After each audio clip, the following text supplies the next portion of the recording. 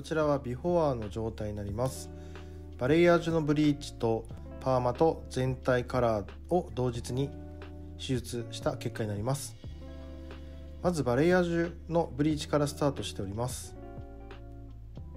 かなりダメージがあったのですが毛先の方ですね。ちょっとテロテロの状態なんですけれどもお客様の意向によりさらにブリーチをさせていただきました。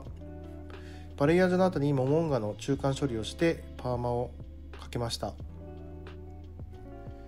こちらはツイストバンドと R ピニングを使うことによってゴム跡をつけなくするという効果があります。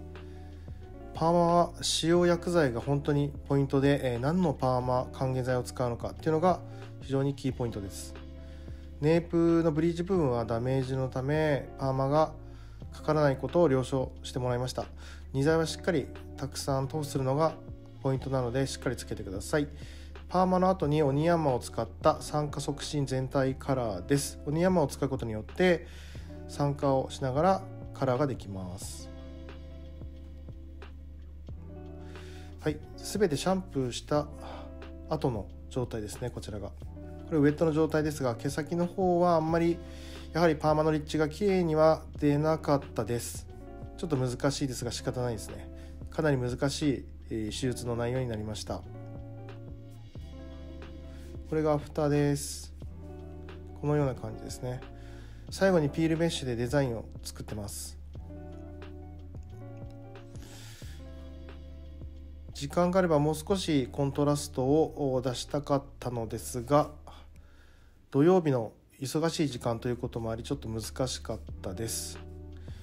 今回の内容は100人中95人は多分お断りする内容ではないかと思います。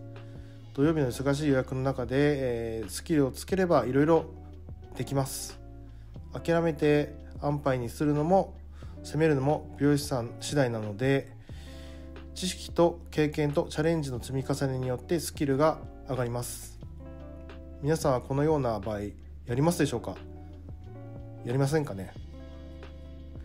どうやったらできるかを常に僕は考えていきたいと思っております。